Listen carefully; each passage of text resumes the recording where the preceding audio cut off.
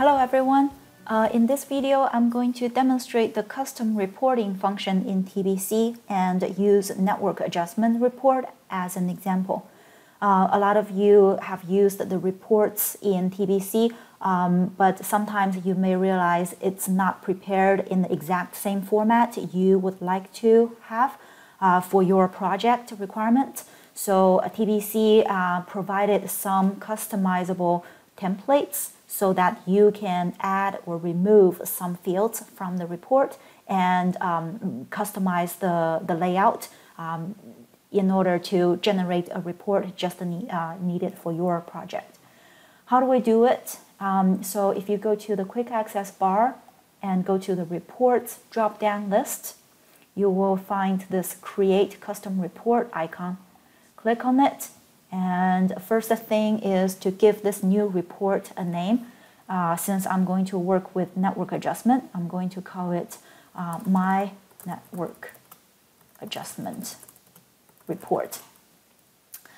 And for the report source data, here are all the uh, predefined report templates TBC prepares. Uh, in this case, I'm going to choose network adjustment report. Then I'm going to hit browse button and choose the existing template, custom network adjustment report.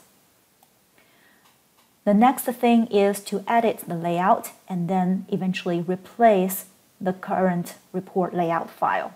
So let's edit the layout. In this report, you will see all these tables showing up. I'm going to jump right into the table I want to edit, which is called Adjusted Total Station Observations. As you can see right now, this table is um, grouping horizontal circle reading, vertical angle, and the slope distance all in one table, um, sorted by the observation ID. But let's say I just want to split this table into three. Uh, the first table will focus on the horizontal circle reading statistics. Second table will be just about vertical angle. Third table will be about slope distance. How am I going to do it? Um, so we can do a control C to copy the existing table and then come down to copy uh, to control V paste it. I will only need three tables, so right now that's all good.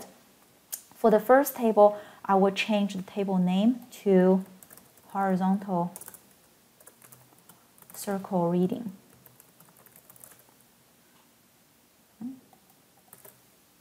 And I can do the same thing for the second table. I will call it vertical angle. And for the third one, it will be called slope distance. And you can use the uh, Microsoft Word tools to change the formatting of the table. Oops. All right. And then we, uh, we are going to uh, adjust what is going to show in each table. So in the first one, I don't need these two uh, rows. So I'm going to choose them, delete the cells, and I'm going to delete the entire row.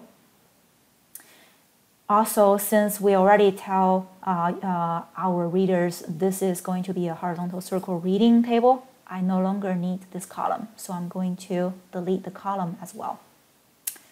Then I can also uh, adjust the layout a little bit to make this table centered. So let's do the same thing for the second table. I no longer need the first row, delete cells. This time I will shift cells up so I'm not going to accidentally remove uh, my observation ID column. Do the same thing for these two rows. Delete entire rows. There we go. And delete the column. Center the table. For the third one, delete, shift the cells up, and then clean the table. As you can see, um, I'm not really doing anything fancy. It's all the tools we can find from Microsoft uh, Word. Oh, Right.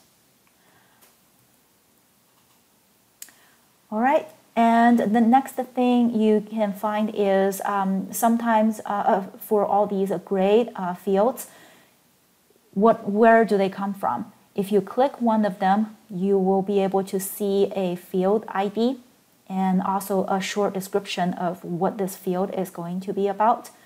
Um, if you are quite familiar with the attribute or uh, uh, value you are looking for, you should come to the right side and try to pick the data field you want to add or remove from our list. Depending on the report template you're using, you will see different data fields in this window. But uh, right now, I'm quite happy with our editing. I'm going to save my new template and give it a name.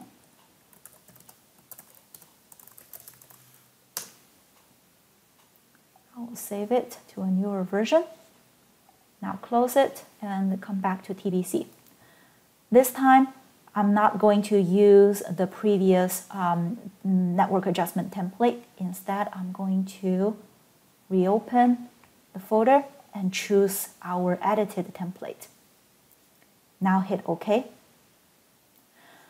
Next time when I'm ready to create network adjustment report, I'm not going to uh, go to the command and generate report over there because that command will still run the default template. Instead, I'm going to come back to the reports list, choose more reports, and find my template. Hit OK. Now let's go into the adjusted the total station part. Here is our horizontal circle reading, vertical uh, angle reading, and slope distance reading.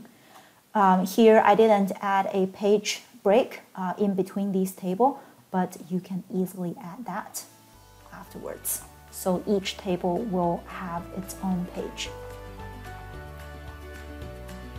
This concludes the custom reporting function in TBC. Hope you enjoy it. Thank you.